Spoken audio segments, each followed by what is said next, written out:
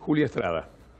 Bueno, Víctor Hugo, hoy venimos a analizar a los que siempre están en las sombras, que son los gurúes de los mercados, los gurúes que vienen a decirnos para dónde sopla el viento, por decirlo de alguna manera, y que particularmente son muy influenciadores, por decirlo de alguna, manera, de alguna forma, en este gobierno, en lo que tiene que ver con la gestión económica actual.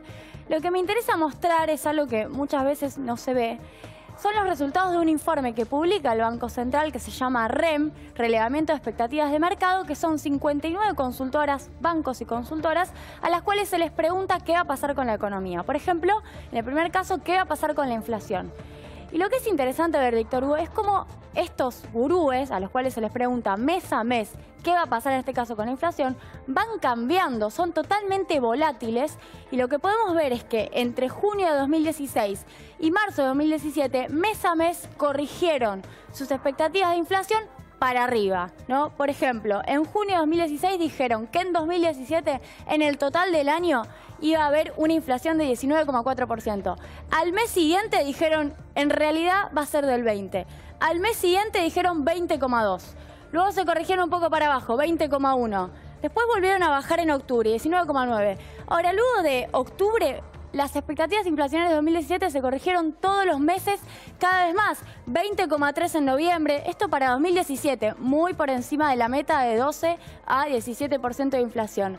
20,7 en diciembre, bueno, y al 21,3 fue lo último que dijeron el mes de marzo. ¿Por qué es importante ver esto? Porque el gobierno particularmente y muchas decisiones económicas tienen que ver con estas expectativas y son totalmente volátiles.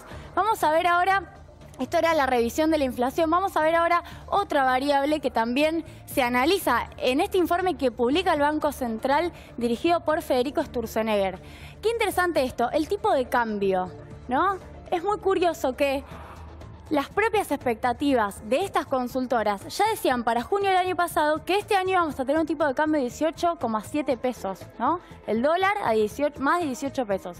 Y lo siguieron diciendo, lo dijeron en julio, en agosto, en octubre. Recién ahora están bajando, pero estamos con un tipo de cambio que va a estar entre los 18 y los 17,8 pesos. ¿Qué quiere decir esto?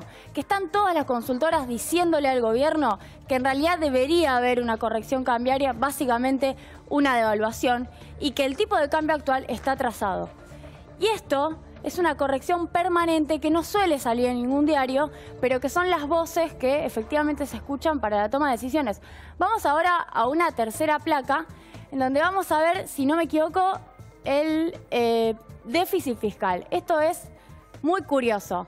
Las propias consultoras dan un empeoramiento del déficit fiscal, esa variable que es tan central para la ortodoxia económica, del 30% entre junio de 2016 y marzo. Pasamos de 343 mil millones de pesos de déficit fiscal que íbamos a tener en 2017, lo dijeron el año pasado, y va pasando los meses y hoy dicen a marzo de 2017 que el déficit es más, podríamos decir 100 mil millones de pesos más, 435 mil millones de pesos de déficit fiscal. Decían una cosa y ahora dicen otra. Y estas cosas que decían en 2016 son las que se usaban para la planificación del presupuesto. Claro, lo que pasa es que ahora se corrigieron, que es la parte, de nuevo, que no sale en ningún lugar. Vamos a la, última placa en donde vemos específicamente el producto. No sé si recordás que el gobierno insiste con que este año se va a crecer más del 3%. Bueno, estaban con esa versión el año pasado, las consultoras decían 3,2, mantenían esa proyección entre junio y octubre del año pasado, pero claro, llegó el verano y empezaron a corregirse para abajo. 3% era mucho. Y la última proyección para el mes de marzo es que el crecimiento de 2017 va a ser de 2,8%. Ya dieron por tierra con una de las proyecciones del presupuesto 2017 votado y con una de las de los caballitos de batalla de Cambiemos, que es que se va a crecer más del 3% este año.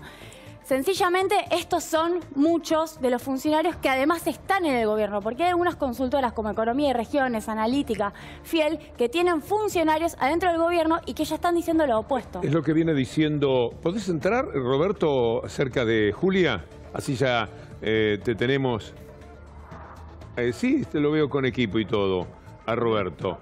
Eh, porque este dato, esto que tenemos ahí, en pantalla, Roberto. Buenas tardes. Buenas Hola, noches. Víctor Hugo, ¿qué tal? ¿Cómo estás?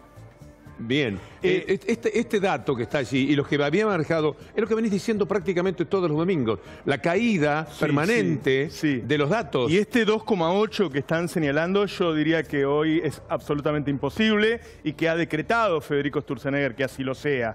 Porque hoy subió la tasa de interés un punto y medio, que es una barbaridad, ¿sí? Con lo cual, el negocio para todos los argentinos, para los que tengan dinero acá o en el exterior, es comprarle back. ¿Mm? Eh, digo, juzgamos al gobierno anterior porque gastó 50 mil millones de pesos para pagar dólar futuro. Con la tasa de hoy va a gastar 250 mil millones de pesos.